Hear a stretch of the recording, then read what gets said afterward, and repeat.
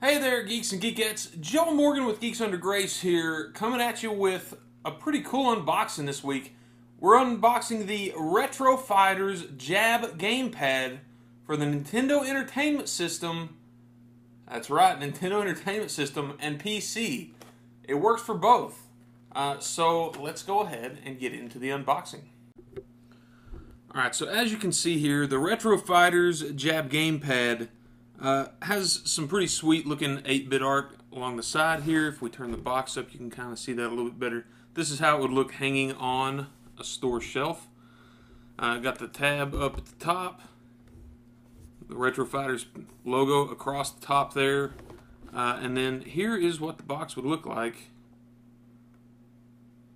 Okay, and then we'll turn it on its side. You can see there, there's a little bit of a, like a keychain 8-bit tchotchke in there from the company itself. Uh, and then, of course, you know, it says for the NES and PC, dual compatibility, next gen wired controller. I think it's pretty interesting that in this day and time, we're getting in, uh, a controller for the Nintendo Entertainment System that will also work on your PC. So, let's start cracking this open. We'll, we'll kind of scan around the, uh, the box art here, see what we got. So that, there you go, is the layout for the controller. That looks pretty familiar, right? That looks quite a bit like an Xbox One controller. That's right. So you've got the uh, the D-pad over here. I hope that's as good as Nintendo's D-pads have been known to be. Uh, we'll find out since this is a third party. Of course, you've got uh, dual analog joysticks. I don't know how much throw and give they have. I will uh, we'll, we'll look at that in a minute. A select and start button turbo button, and of course uh, the, the clear so that you can clear off the turbo button, A and B, and I think the most interesting thing about this, the shoulder buttons right there. You got shoulder buttons on a Nintendo controller now, and from what the developer of the joystick has told me, of the controller has told me, we've also got the uh, L3 and R3 buttons, you know, clicking in the left and right stick, that will also uh, replicate A and B buttons for games like, say, Jackal or something like that. Um, nothing on the on the front. Almost got kind of a guile-looking uh, streets of, you know, uh, streets of rage or something like that. Uh, final fight sort of uh, character there. I like that 8-bit art style. There's the Jab Gamepad logo. Alright, so let's go ahead and get into the actual unboxing of this. So, it's got a little bit of tape on the back there. Gonna need to get through that. Or, of course, you can always pull through it. We don't like to do that.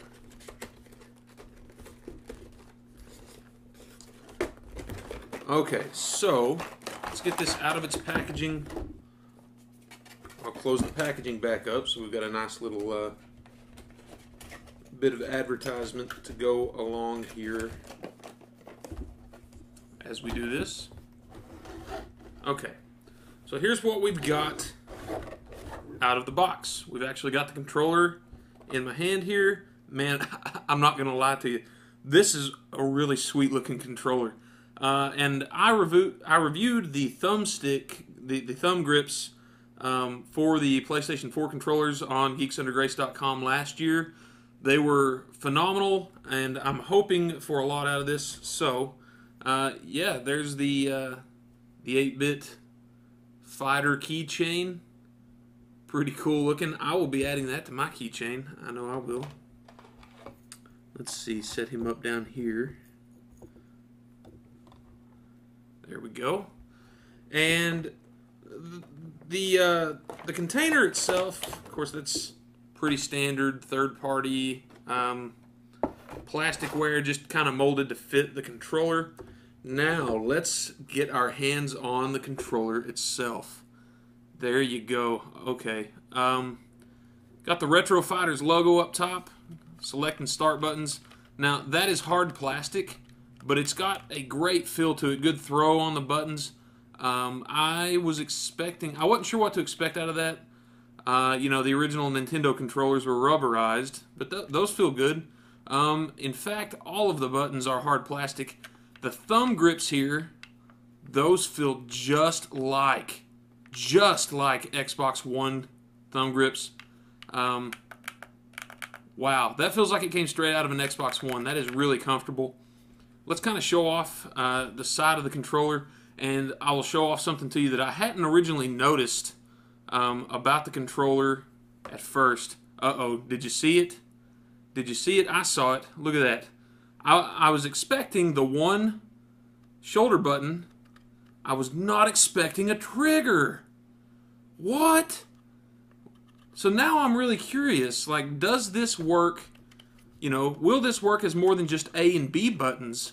Because we have an A and B and an A and B trigger, an A and B, A and B on the face of the controller right there as well. And then you click in the sticks. You can hear the click there. And you've got another A and B click. Uh, the D-pad and the A and B. Okay, so these feel a little smaller than the A and B button from your standard NES uh, brick controller, but they still feel alright. I'll, I'll know better after a few hours of gaming with them. The D-pad is, uh, it also feels pretty good. It's it's definitely hard plastic, but then again, so was it for the original NES controller. No worry there. Um, the throw on the shoulder buttons on the triggers. Now, I'm I'm. It feels good. It feels like if you're used to using triggers on modern controllers, this is probably going to be the way you want to go for your NES games. But I don't know. I mean, A and B button. There you go. That's right on its face. You can turbo either of the buttons. Um, and uh, so let's go ahead and set the controller aside. You can look at that, and we'll examine the next portion of it. This is the most fascinating thing about this entire controller to me. You've got the NES port right there, right? Coming out of the same box as a USB jack. So, uh, that's that's really unique. I have never seen anything like this. The uh, the jab gamepad from Retro Fighters is showing a lot of promise to me right now, based on the fact that I am a modern gamer, but I really like retro stuff. I've got my Retron that we're going to be giving this some some time with. And there you go, ladies and gentlemen. That is the Retro Fighters gamepad. Hope you enjoyed this unboxing video. Be sure to stay tuned to geeksundergrace.com for the full written review on the controller. Give us a comment below, like and share, and subscribe to us. And be sure to follow us at Geeks Under Grace on Twitter. God bless you all. Have a great day. Go forth and game.